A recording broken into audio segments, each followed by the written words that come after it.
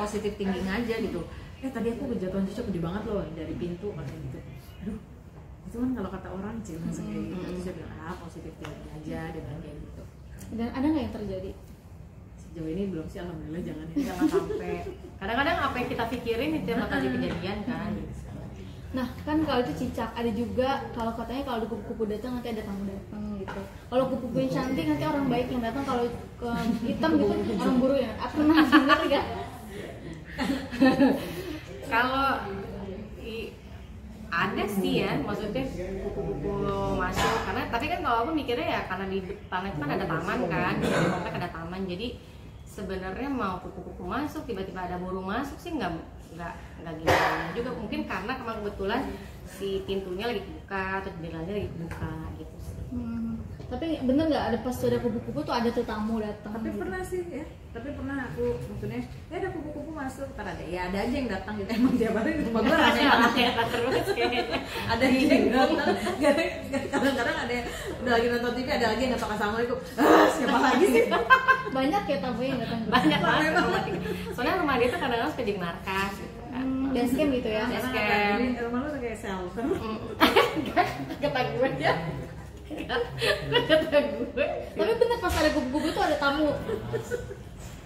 ah, itu jangan ditanya gitu ya Kupu-kupunya apakah bentuknya masih cantik atau kupu-kupunya hitam gitu? biasanya yang coklat ya kupu-kupu yang coklat gitu siapa yang bagus pasti kita tangkap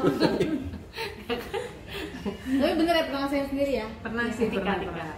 Karena mungkin memang kebetulan aja kali. Dan bener ada tamu tuh datang. Iya. Tapi tamu baik apa jahat tuh? alhamdulillah yang baik sih.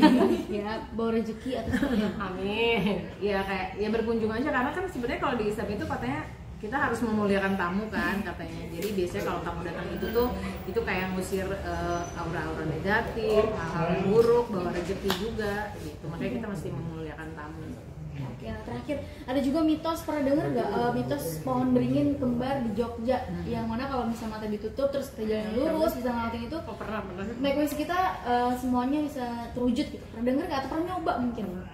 Dulu pernah nyoba. Pernah. Iya pernah pernah nyoba. Cuma tetap ya denial. Kan kalau kita tuh indera tubuh kan ada lima itu semua penyeimbang. Jadi kayak kehilangan satu tuh kayak kehilangan untuk eh, apa keseimbangannya gitu ya. Jadi eh, buat aku sih kalau mata ditutup pasti kita nggak akan bisa ngebedain mana lurus mana belok pas segala macam sih. Itu menurut aku ya gitu. Karena aku nyobain di rumah pun mataku ditutup segala macam ya mencong-mencong juga jalannya. Tapi pernah nyoba yang di sana pernah pernah pernah gimana?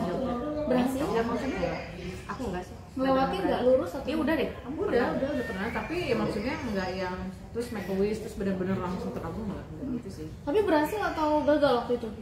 Lupa. Tahu udah minta padaku. Minta padaku. Bukan pada beringin.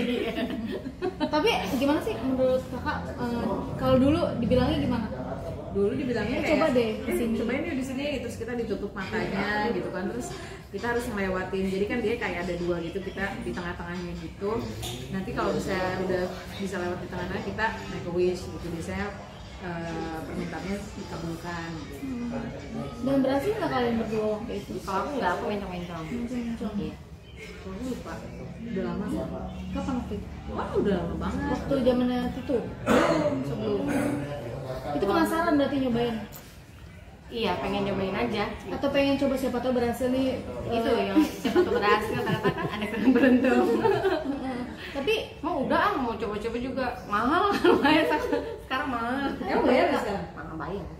Oh udah kalau dulu kalau dulu bebas kan? kalau dulu bebas. Sama.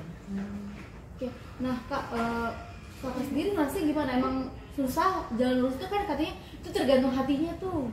Tergantung keberuntungan Tergantung keberuntungan. tapi mungkin ya yang tadi dia bilang kalau ditutup kan kita juga kadang-kadang ya melencong-melencong aja kan kita nggak tahu pokoknya kita ngerasanya udah dari sini wah ini lurus nih dari sini gitu. berenang aja kan merem ya berenang aja kan suka Mencong ya, karena kayaknya jalan lurus aja gitu. iya jadi mitos sih kayaknya Menanggapi mitos-mitos yang ada di Indonesia gimana sih kalian sendiri? kalau aku berusaha menghormatin aja gitu karena kan ka- kadang-kadang ada ada Sunda mitosnya kayak gini ada Jawa. Jadi kita kadang-kadang kalau kata orang tua eh ini nggak boleh kayak gini udah ikutin aja yang masih masuk akal. Tapi kalau misalnya harus sampai kita ngikutin upacara-upacaranya gitu enggak